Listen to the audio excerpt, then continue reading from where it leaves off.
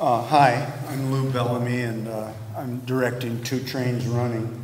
Um, it, like Amanda, I have a relationship with this piece Yes. that's gone on for a number of years. I produced uh, Wilson's first professional production, and the theater uh, that I am the artistic director of has done more of his work than any theater in the world. So I, I'm familiar with his work. Um, this is one of, one of my favorite plays, and it's one that, that I think is often overlooked. Um, one of the hallmarks of a Wilson drama is his ability to give epic proportion to everyday life.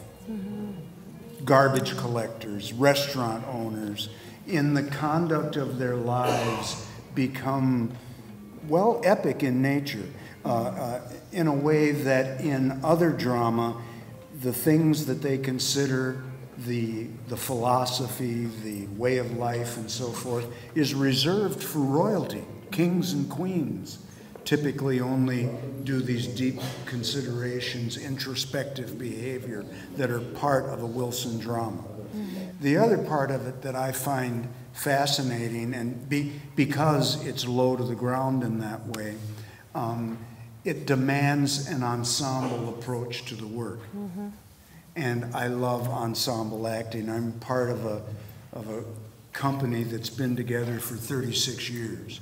So there's not much you can hide from those actors and, and so forth. So um, you should, it, it should ring of authenticity when, when you see it, if we've done our, our job. The other thing I'd like you to be aware of or to notice, I hope, is that there, it, it's naturalism. And unfortunately, today, naturalism has gotten sort of a bad rap. Uh, people think, oh, I know that. Well, we'll see. Um, uh, hopefully, the choreography and the, the craft level of these actors will bring naturalism to a level that you'll be surprised by.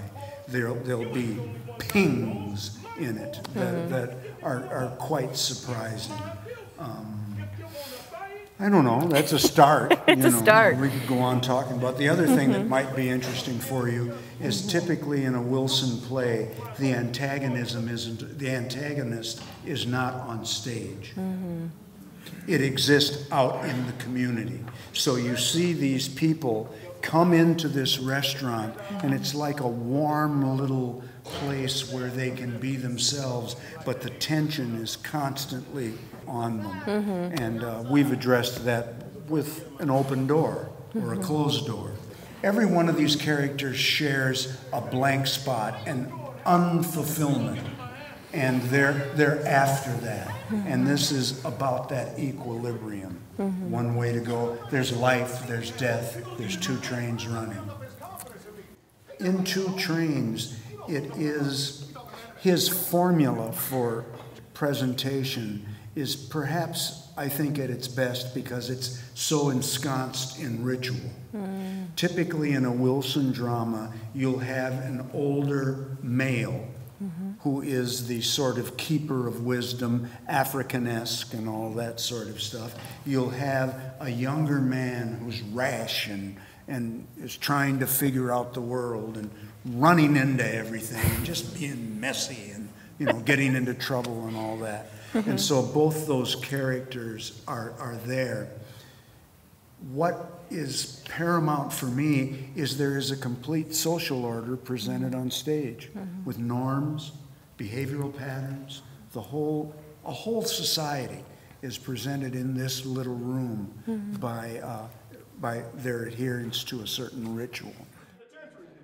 You want the bench in the penitentiary? I want my ham!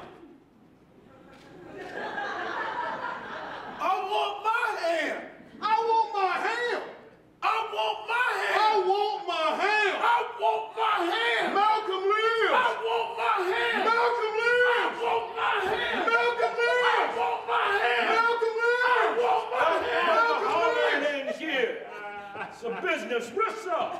I want my hands the hollering. What? I read these lines, and they're not funny when you read them, many of them. and suddenly, when someone says the thing, you're falling over laughing, and you almost don't know why. There's an old guy in there, someone asking, him and says, uh, well, I didn't even know you had a grandfather. He said, I had two of them. You know, wh- why is that funny? I, I, I don't know. I mean, I, I talked with August once, and in, in, uh, in, in Fences, he talks about uh, biscuits. And this guy's eating biscuits. And I talked with him and I said, Well, what about this biscuits? He said, Well, muffins aren't funny. well, they're not. I mean, muffins, you know, but biscuit eating guy, oh. that, now that's funny. Exactly. Exactly. So thank you, Lou.